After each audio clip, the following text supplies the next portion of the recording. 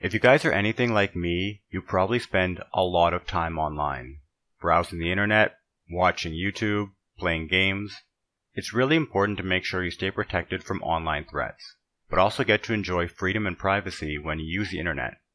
I recommend NordVPN because it's super easy to use and manages all of these things in one simple app.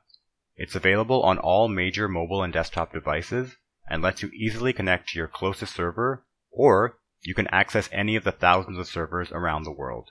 It's risk-free to try with Nord's 30-day money-back guarantee, and you can support my channel directly by using the special offer link in the description or pinned comment down below.